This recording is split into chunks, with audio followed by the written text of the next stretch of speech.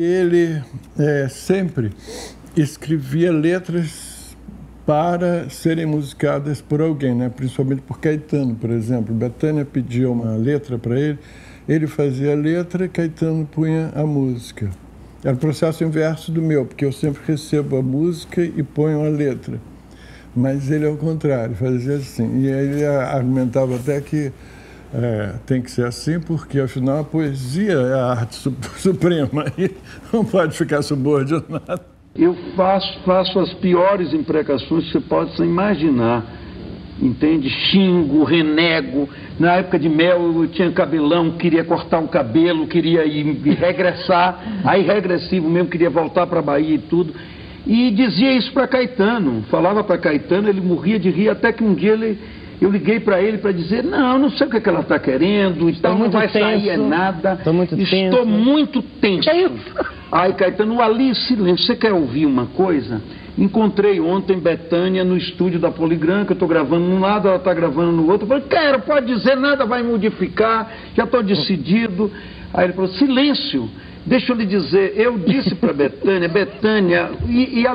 Betânia me perguntou, e a letra de Wali? Aí eu respondi para ele, Betânia, não espere nada, o Ali está muito tenso.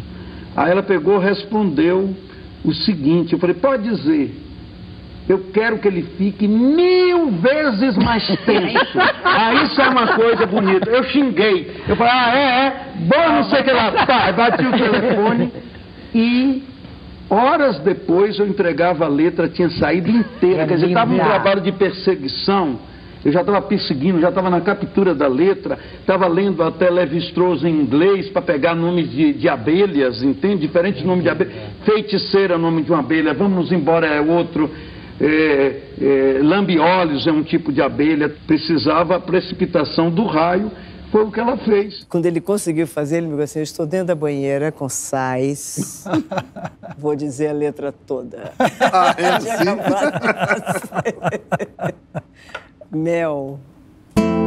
Oh, abelha rainha, faz de mim instrumento do teu prazer.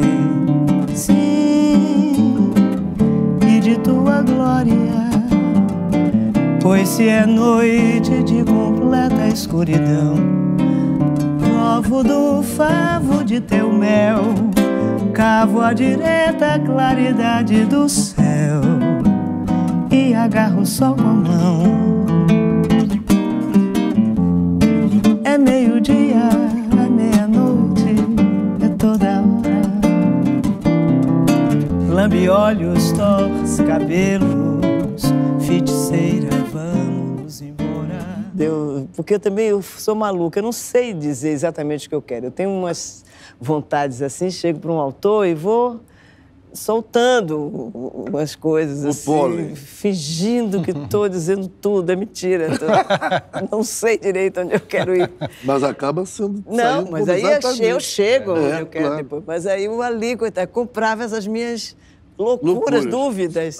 e aí ficava atormentado. Se ele está nervoso, se ele está demorando, ele tem que ficar mais tenso, um bilhão de vezes mais tenso até conseguir.